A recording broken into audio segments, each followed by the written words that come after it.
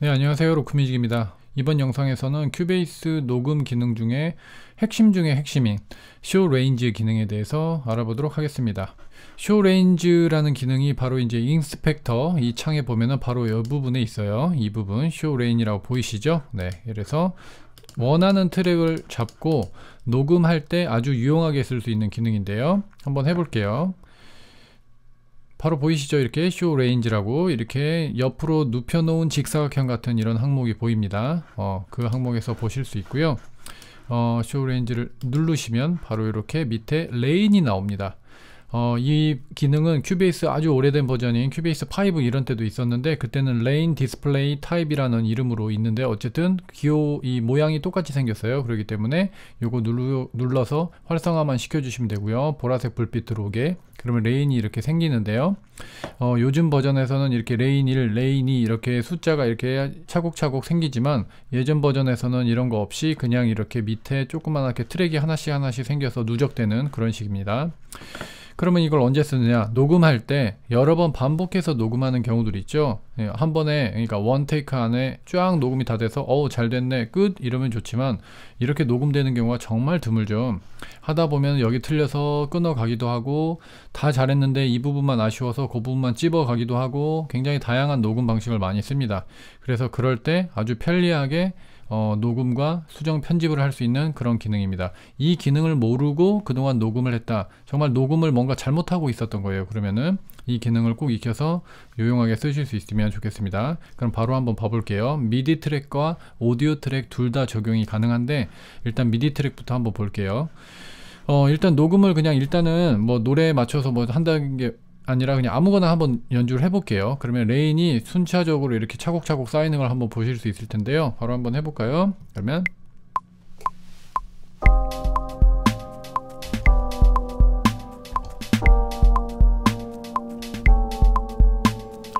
예를 들어 이렇게 녹음을 했다 쳐요 근데 아우 조금 마음에 안 들어 다시 해야지 그러면은 이거를 남겨두고 하고 싶을 때 많은 분들이 어떻게 하셨냐 어, 트랙을 새로 만들어 가지고 막 똑같은 트랙을 하나 더 만들어 가지고 혹시 모르니까 놔두고 다시 녹음하거나 아니면은 예를 들면 이게 이래, 이런 상황이라면 이걸 여기다 이렇게 남겨두고 다시 녹음하고 뭐 이런 경우도 있어요. 근데 그럴 필요 없이요.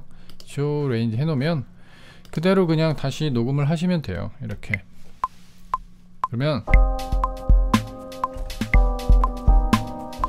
바로 밑에 이렇게 차곡차곡 쌓입니다. 이런 식으로. 이런 식으로 쌓이게 돼요. 그래서 여러 번 녹음을 반복하실 수 있다는 어, 어떤 이런 기능이에요. 그래서 어, 또 녹음을 하면요. 사실은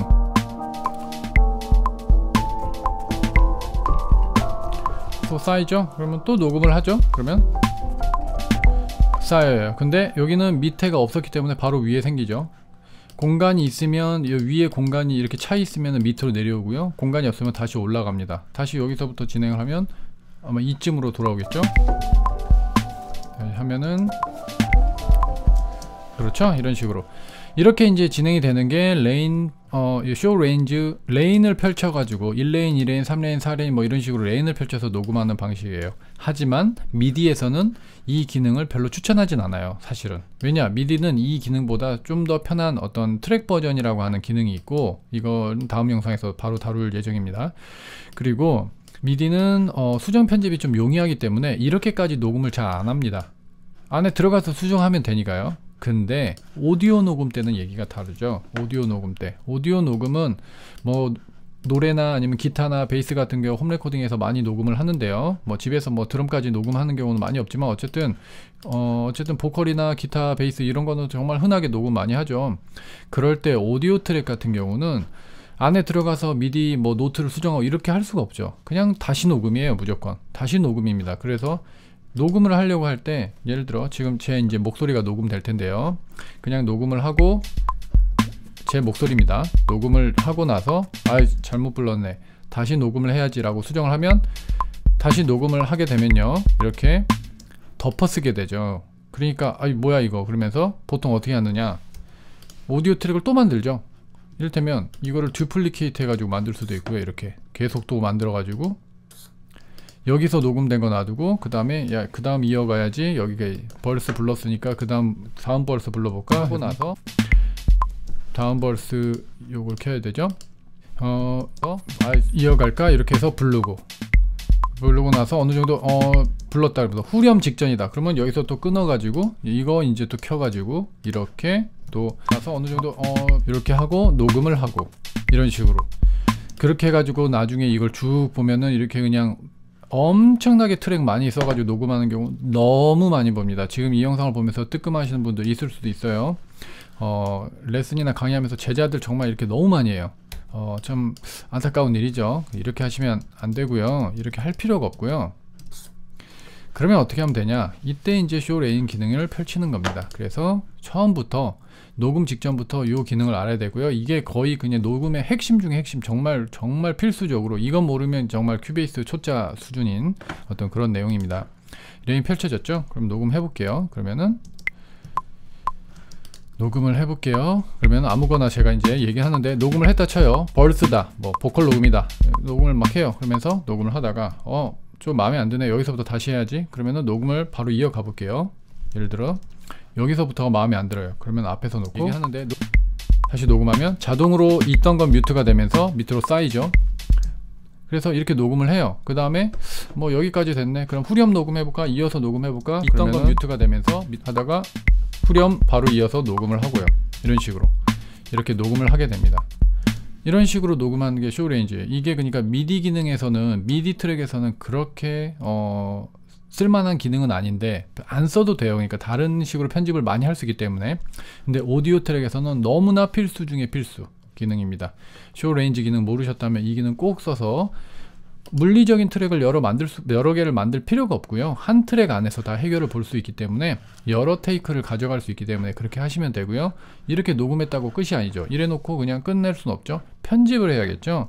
그럴 때 어, 이렇게 스냅을 여기 스냅을 끄시고요 단축키는 J죠 어쨌든 스냅을 끄시고 원하는 부분을 확대해서 찾아가시면 됩니다. 지금은 제 목소리가 녹음됐기 때문에 뭐 편집점이나 이런 게 뭐 지금 원활하진 않지만 여러분들이 기타나 베이스 보컬 이런 걸 녹음하셨다면 어, 여러분들이 알고 있는 편집점이 있을 거예요. 야 이 부분이 괜찮네. 그러면은 요 이렇게 당겨 가지고 이렇게 맞추고요.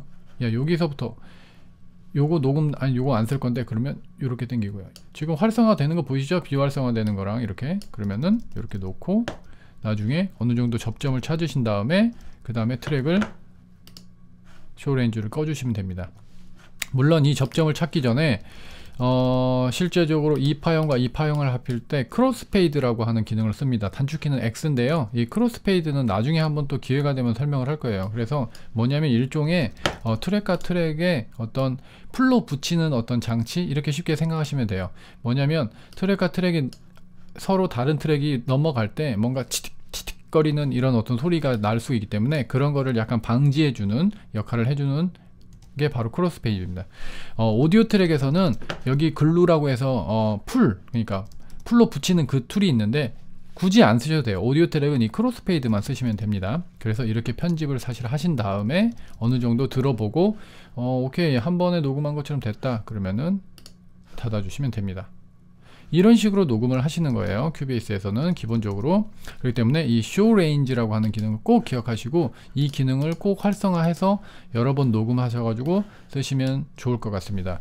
이 Show Lanes 기능을 쓰는 데 있어서 꼭 필요한 기능이 하나가 있는데 그 기능은 다음 영상에서 또 다루도록 하겠습니다. 바로 여기 위에 있는 이 Comp, Comp라고 하는 손바닥 모양의 이 커서 기능입니다. 저는 단축, 이게 원래 단축키 지정이 안 되어 있거든요. 저는 5번으로 단축키 지정을 해놨는데 어쨌든 이 Comp라고 하는 이 기능이 지금 이렇게 Show Lanes 기능에 있어서 옛날에 비해서 옛날에는 이런 기능은 지원했지만 지금 이런 Comp 이런 기능은 없었어요. 근데 요즘 버전은 이런 게 지원되기 때문에 아주 유용하게 쓰실 수 있습니다. 그래서 어, 다음 영상에서 이어서 다뤄보도록 하겠습니다. 일단 오늘 Show Lanes 영상은 여기까지고요. 네 다음 영상에서 또 이 내용에 대한 좀 추가적인 부분을 다뤄보도록 하겠습니다. 감사합니다. 로크민이었습니다